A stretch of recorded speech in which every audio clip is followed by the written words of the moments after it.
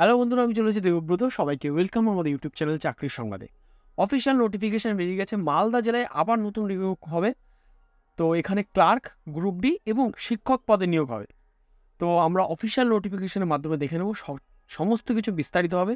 কতগুলি শূন্যপদ শিক্ষকগত যোগ্যতা কী চেয়েছে এবং সবচেয়ে বড় খবর, এখানে কোনো লিখিত পরীক্ষা হবে না।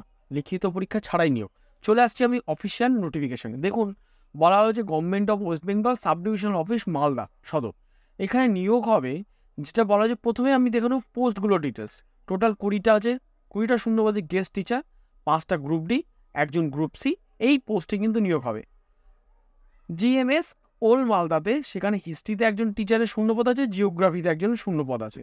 তারপর হচ্ছে কি মানিকচক সেখানে হিস্ট্রি একটা শূন্যপদ ইংলিশে একটা শূন্যপদ। এছাড়া হচ্ছে কি হাবিবপুর, হাবিবপুরে বাংলায় history geography life science mathematics physical সায়েন্সে প্রত্যেকটাতে একটা করে শূন্যপদ।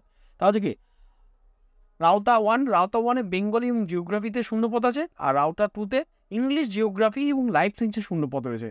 এছাড়া আছে, দেখতেই পাচ্ছেন আপনি কালিয়াচক থ্রিতে ম্যাথমেটিক্স এছাড়া আপনার কিন্তু আরও শূন্যপদে বিভিন্ন আছে, এগুলো হচ্ছে টিচার পদে শূন্যপদ। তারপর আমরা দেখে নেব non teaching staff group D একটা আছে ওল্ড মালদাতে আর মানিক চকে একটা শূন্যপদ আছে। এছাড়া হাবিবপুরে একটা গ্রুপ সি শূন্যপদ আছে, একটা গ্রুপ ডি শূন্যপদ রয়েছে। এছাড়াও কালিয়াচক তিনে একজন গ্রুপ ডি শূন্যপদ রয়েছে। এ যে হরিশ্চন্দ্রপুর দুয়ে একটা গ্রুপ ডি শূন্যপদ রয়েছে। তাহলে এইগুলো বলে আমার শূন্যপদের ভ্যাকেন্সি কোথায়, কত ভ্যাকেন্সি আছে সেটা। এবার আমরা দেখে নেব আপনাকে কি কি ক্রাইটেরিয়া আছে যে এই পোস্টে অ্যাপ্লাই করবার জন্য। অবশ্যই প্রথমে ইন্ডিয়ান সিটিজেন হতে হবে। Applicant should have at latest graduate degree relevant subject for guest teacher guest টিচারদের জন্য কি বলা আছে? অবশ্যই আপনাকে গ্র্যাজুয়েট হতে হবে। আপনি যে সাবজেক্টে অ্যাজ এ টিচার অ্যাপ্লাই করতে চান, সেই সাবজেক্টে আপনাকে গ্র্যাজুয়েট হতে হবে। তারপর কি বলা হয়েছে?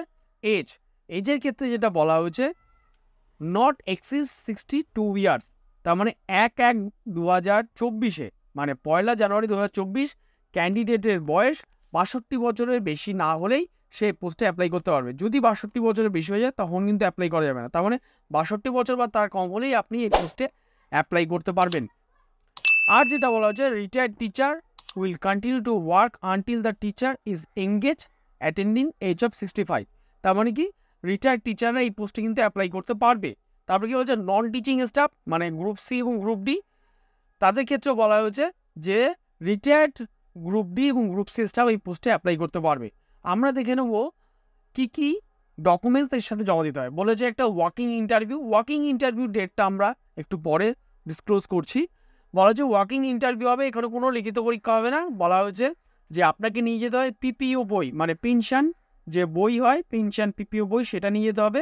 পেনশন পার্সেন্ট বুক তার সাথে সাথে এজ প্রুফ আপনার এজ প্রুফ হিসেবের জন্য আপনি আপনার পিপিও বুক নিয়ে যেতে পারেন বা আপনার মাধ্যমিকের অ্যাডমিট কার্ড বা আপনার এজ প্রুফের যে ডকুমেন্ট আপনার কাছে আছে, সেটা নিয়ে যেতে হবে। লাস্ট পে সার্টিফিকেট লাস্ট যে পেটা পেয়েছেন, সেটা নিয়ে যাবেন এবং ফুল বায়োডাটা বায়োডাটার মধ্যে কী কী থাকবে? বায়োডাটার মধ্যে থাকবে আপনার নাম, আপনার গার্জেন্স নেম আপনার সিটিজেনশিপ আপনার কাস্ট আপনার এজ আপনার মোবাইল নাম্বার আপনার কোয়ালিফিকেশন আপনার এক্সপিরিয়েন্স সমস্ত কিছু এগুলো মেনশন করবে। মেনশন করে কোনো জমা দিতে হবে না, এগুলো ডাইরেক্ট আপনি হাতে করে ইন্টারভিউ দিন এবং তার সাথে সাথে অবশ্যই অরিজিনাল সমস্ত ডকুমেন্টস নিয়ে যাবেন। নিয়ে যেতে হবে ইন্টারভিউ ডেটটা আছে আঠেরো তিন দু হাজার চব্বিশ। তার মানে কি? আঠেরো তারিখে মার্চ মাসে এই পরীক্ষা হবে, সেটাই হচ্ছে ওয়ার্কিং ডেট এবং টাইম হচ্ছে এগারোটা থেকে শুরু হবে, তাহলে অবশ্যই আপনি তার আগে আগে পৌঁছে যাবেন। এবং এর ভেনু যেটা বলা হচ্ছে সদর এসডিও অফিস মালদা তাহলে মালদার যে সদর সাব ডিভিশন আছে, তার যে এসডিও মানে সাব ডিভিশন অফিসার সেই অফিসে তার চেম্বারে কিন্তু এই ইন্টারভিউর কথা বলা হয়েছে। তো এইখানে আপনি আপনার যথোপযুক্ত সমস্ত ডকুমেন্টস নিয়ে এবং একটা বায়োডাটা নিয়ে চলে যাবেন। এই ক্ষেত্রে স্যালারির ক্ষেত্রে যেটা বলা হয়েছে, আমরা মোটামুটি তার এজ কোয়ালিফিকেশান শিক্ষাগত যোগ্যতা শূন্য পথ সব বলে দিয়েছি। এবার যেটা আসছে স্যালারি স্যালারির ক্ষেত্রে বলা হয়েছে যে, এই যে পোস্টিং যেটা হবে সেটা হচ্ছে আপনার বিভিন্ন স্কুল এবং সাবঅর্ডিনেট যারা এবং স্যালারির ক্ষেত্রে যেটা বলা হয়েছে এখানে বলা হয়েছে যে আপনার লাস্ট যে পেটা আছে, সেই লাস্ট পের কিন্তু আপনি এই যে remuneration will be retired teacher will be the last pay minus pension মানে কি? মানে হচ্ছে রেমুনারেশন আপনার হবে, আপনি যেটা পেনশন পেয়েছেন বা পাচ্ছেন সেটা এবং আপনি যেটা চাকরি থাকাকালীন আপনার লাস্ট যে স্যালারিটা ছিল সেটার বেসিক সেই বেসিক থেকে আপনার পেনশনটা মাইনাস করলে যে টাকাটা হবে সেই টাকাটাই কিন্তু অ্যাজ এ আপনি এখানে রেমুনারেশন বা স্যালারি পাবেন।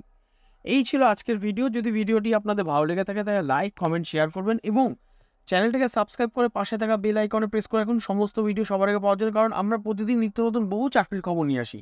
প্রতিদিন এই নতুন চাকরির খবর পাওয়ার জন্য অবশ্যই কিন্তু চ্যানেলটাকে আপনাকে সাবস্ক্রাইব করতে হবে। Thank you watch this video